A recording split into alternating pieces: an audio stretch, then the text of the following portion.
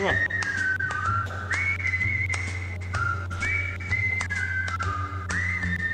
Reading the Plainsman? Don't be that guy.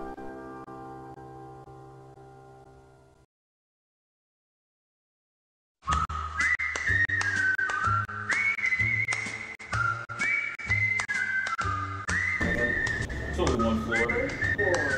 Don't be that guy.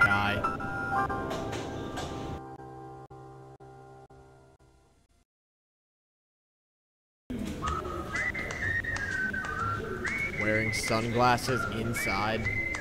Don't be that guy.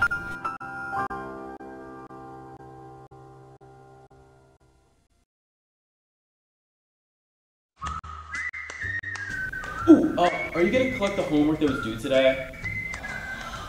Don't be that guy.